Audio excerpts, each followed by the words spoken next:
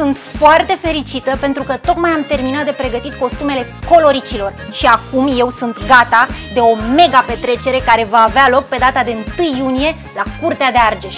Așa că dacă sunteți de prin Argeș, vă așteptăm pe toți, cu mic, cu mare, să fiți alături de noi, trupa coloricii, la cea mai mare petrecere, în cea mai frumoasă zi din an. Vă așteptăm cu drag, la revedere! Joc, bagă-te